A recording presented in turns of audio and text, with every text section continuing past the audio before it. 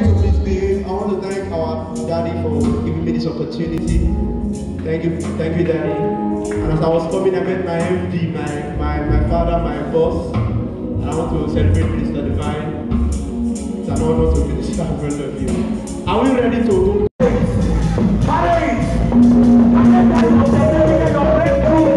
Anybody that you know that is full of fire, anybody that you know